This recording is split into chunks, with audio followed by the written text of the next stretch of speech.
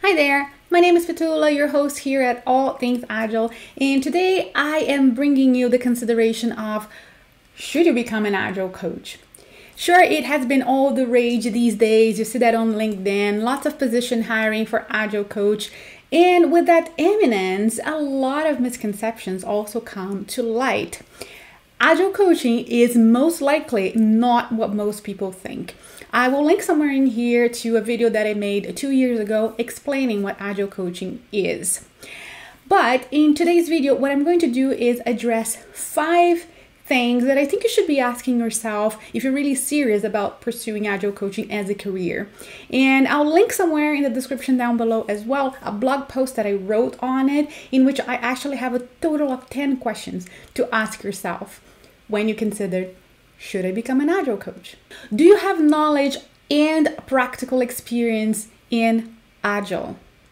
that is a first for me, honestly, because on the same way that you wouldn't hire in a professional hockey league, you wouldn't hire a coach that doesn't know any hockey, that never played hockey before. So the agile coach must have first-hand experience with agile my experience for example when i started back then uh, i was a software developer using extreme programming eventually a team lead as well in the world of XP. So I applied Agile first and then I transitioned. I did not start it as an Agile coach. And this is not a matter of elitism. It is actually for your own good from your day one as filling a position as an agile coach, you are going to be expected to be able to help people to learn and adopt agile ways of working. That means that there's a lot of expectations for you to already know several techniques and how to apply them and how to teach them and how to help people understand what lies behind it and help people how to think differently so that they can use these techniques set yourself up for success by gaining agile experience as a practitioner before you take on coaching. Are you able to discuss the undiscussable? You, the agile coach, need to feel comfortable probing and challenging ideas, assumptions, ways of doing. You will work with people that actually consider certain themes taboo or they would rather not upset the difficult people. But nothing should be undiscussable among teams across departments or with the CEO of the company. So, not only you, the agile coach, must feel comfortable being the one who start and conduct those difficult conversations, but you also have to be rather skilled at it. If you're not skilled at it, what can happen is that you'll actually challenge those ideas in a way that you're challenging the people themselves in a way that feels personal, and then they get defensive, and that is really not helpful. So, other people can hide behind what is undiscussable, not the agile coach. Do you enjoy the spotlight?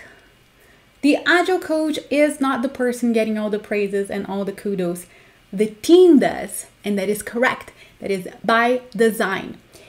Collaboration in Agile is really a must, and the Agile coaching in helping the team to properly work together toward results is, in a way, joining forces, not being the center of the attention. There is nothing wrong with being in the spotlight and enjoying that. And people who are very competitive, they really seek high levels of praise and recognition. And other people really do enjoy hierarchies as well. But it is not compatible with agile coaching. Um, there is not, you know, the agile coach is not a trampoline position for some sort of hierarchical career growth. Um, in fact, there is a ton of lateral leadership, not positional authority that is employed by the agile coach. The ability to converse, to influence, to listen, and to make others listen to. This is really a powerful position, a powerful stance, but it is from the sidelines.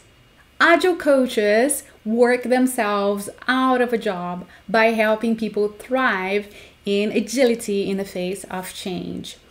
At some point, and it might take just a month or 10 years, the agile coach will really become redundant and it is time to move on to another team or even to an entirely different company. What do you enjoy more? to talk or to listen.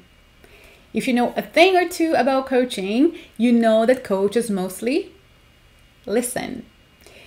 And when they speak, they are economic and they speak after they realize that that thing that they want to say is actually helpful in that particular circumstance for the team or for the individual being coached. Agile coaches observe a lot, ask questions, and they do that to make people gain awareness and to think. They don't do that to just poke and probe and ask away. That is rather disruptive. You need to be comfortable with silence and you really need to make friends with it if you want to become an agile coach. Read the room, notice what is not said, notice body language, who is not around in the room, etc. Remember that when you're speaking, you're not what? Listening. How much empathy do you really have? Are you ready to help the developers and the product owners, but maybe you have an antipathy for management? Think again. Agile coaches help the entire organization in the end, and they need to speak with people at different levels, basically in all levels of the organization. So, to build rapport and create safe spaces everywhere, you need to have empathy for everybody. Do you find it hard? Like, why can't people just follow this technique? It is so simple. Well, remember that up to yesterday, the knowledge that they had was considered amazing. And now, all of a sudden, many of them are back to being beginners once more. People do value reputation and status, even if those mean different things for different people. It is really hard to change if you consider, even when you are already proactively invested in the change. Can you imagine how hard it is for those who are being imposed on in agile transformation? Empathy is a skill, and the agile coach needs loads of it to be effective. These are five important traits to consider if you want to become an agile coach. The good news is they are all skills, they can all be developed. And there are five more that I would like for you to consider, and they are explored in the blog post down below. So go check it out. I love being an agile coach, and it, it is hard work. It does take a lot of time to develop the skills. You really have to be practicing them every day, but it is rewarding. And for those of you who already have some experience with Agile out there, if you are considering becoming an Agile coach, I can help with that. Um, All Things Agile has an online coaching program, 100% online. It is live, it is interactive. So check more of the links down below to know more when we are opening registration. And also consider being part of our newsletter if you don't want to miss a thing from content that I give you to courses and other dates and interesting stuff. Let me know in the comment down below what do you think about the 10 questions I proposed in the blog um, that you should be asking yourself if you are considering becoming an Agile coach. I'll stop here for now and I'll see you on the next one.